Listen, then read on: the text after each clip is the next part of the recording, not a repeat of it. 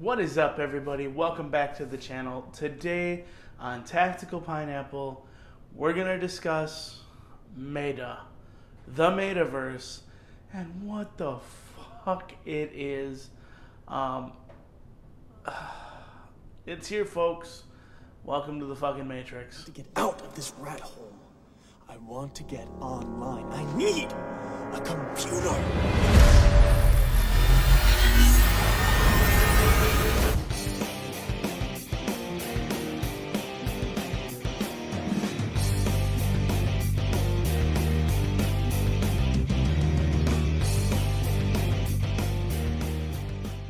All right, real quick, before we get into Meta, the Metaverse, the Matrix, Mark Zuckerberg, and all the bullshit that's going on there, I would like to give you a quick update as today was opening statements and the beginning of the actual trial for Kyle Rittenhouse. Um, nothing extraordinary coming out of today. A uh, few takeaways really seems that the prosecution is underprepared for the case. Go figure. Um, they spent a lot of time actually reaching back to the defense for clarification on things, which probably doesn't look the greatest uh, to the jury. I'm just saying, seems as though you're a bit underprepared for your own case. Um, that being said, there were a couple standoutish things, uh, notably cross examination of the individual who purchased the firearm that they're saying is a straw purchase and whatever. Um, was very interesting to find out that at no point was he told that the defense attorney wanted to speak to him by his own attorney. Um, he also claimed that he's standing there testifying um, without any thought or concern that he might get a deal out of it. So apparently, you know, everything we've learned about the judicial system goes out the window. Um, so we can lie about you know whether or not you're gonna have a good standing if you prosecute or help prosecute your buddy. So uh, to the white Tekashi six nine that testified today in the Rittenhouse case, good for you, sir. Way to go. You look like a fucking douchebag. Uh, but that is enough of the Kyle Rittenhouse case for today because, like I said, nothing extraordinary came out of it. Uh, bigger picture, Meta. What the fuck is Meta? Do you want to know what it is? It's everywhere. It is all around us. Even now, in this very room. You can see it when you look out your window, when you pay your taxes. It is the world that has been pulled over your eyes to blind you from the truth. That you are a slave, Neo. Like everyone else, you were born into bondage, born into a prison that you cannot smell or taste or touch. A prison for your mind. It's Facebook. Why is Facebook now Meta? Meta, whatever you want to call it. Well, number one, metadata is the underlying data that develops something.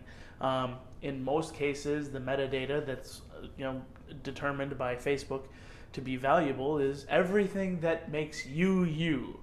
Um, they are using machine learning already to determine who you are, the things you like, um, building a general profile of you.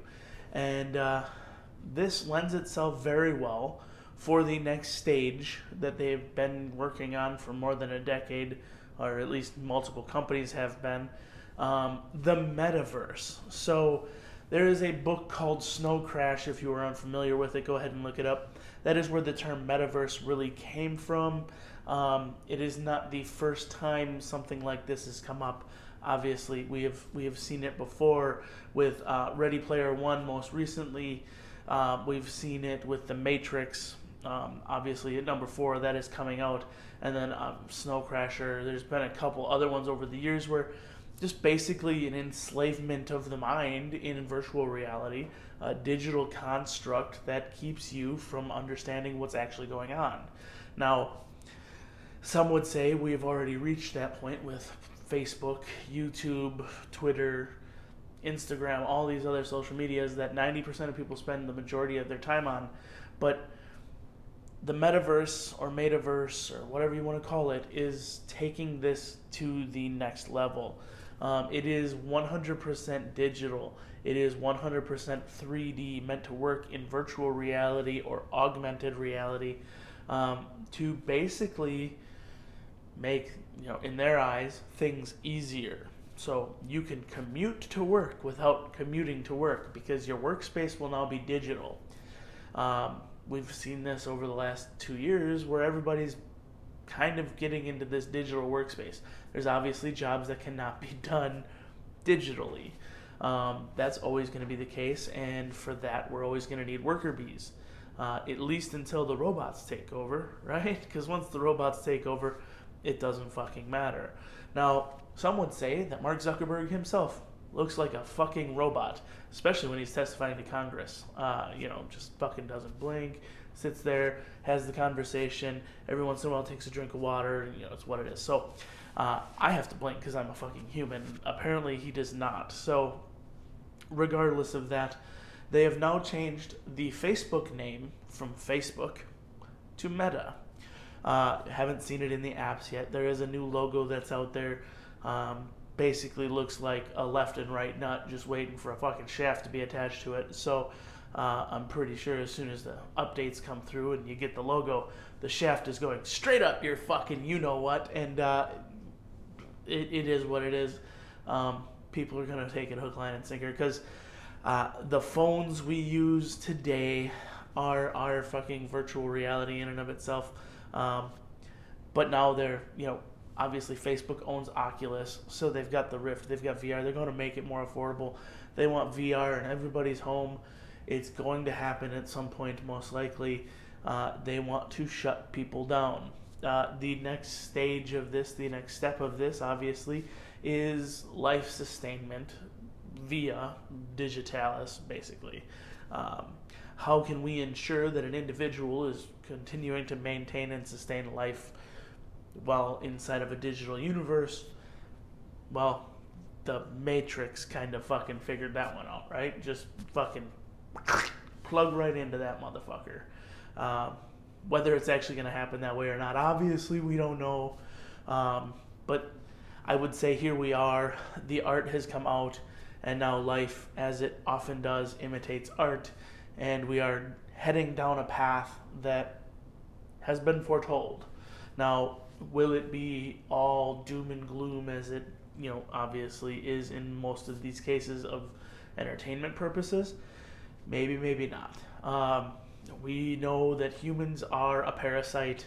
Uh, if we task a computer to determine the best way to ensure human life sustains itself, uh, it would be basically putting human life into coma. Uh, you know, once in that state, being driven and, and controlled by machines would be ideal because it eliminates the animalistic brain, it eliminates the parasitic leech that is the human from the planet, and uh, although it is sustaining our life, what life is there really? Uh, a digital one. That's that's exactly where we're heading, folks. So, um, I don't know what this is going to look like in ten years. I don't know what this is going to look like in two months. Um, I know that there are plenty of companies out there now that the metaverse has really kind of come to the forefront that are talking about this. And interestingly enough, a lot of them have been talking about it for multiple, multiple months. Um, apparently, Nike's been preparing for a metaverse for almost 10 months already. Go fucking figure. Um, take it for what it is. Um, there are some heavy elite companies out there that are preparing for a future that they see will happen. Now, whether it actually does or this goes the way of Web 2.0, I don't know. You don't know. We'll never fucking know until we get there. But I will say that Facebook has committed with the transformation of Meta to what they say is losing a shit ton of money in order to make this dream a reality. We know that anything this advanced coming forward will require a shit ton of money to be lost. Plain and simple. They're being honest about it. That means they're being serious about it. So uh, it is something to definitely watch. I don't trust Mark Zuckerberg to save my goddamn life. And uh, anything he puts his name behind is something that I will not trust ever. So, just saying, do your due diligence as we're working our way through this social media craze and, and into this digital world that's meant to basically put us to sleep, uh, control the information that's being sent to us, and basically just make us all fucking cattle.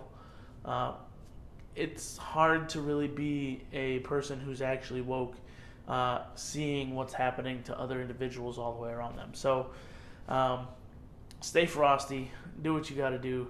And until the next video, folks, carry your pistols, but probably not the P320 for a little bit. Just saying, even though Biden hates them, uh, there's probably some reason to be safe. So, um, sorry. And I'm a SIG guy. So, until the next video, folks.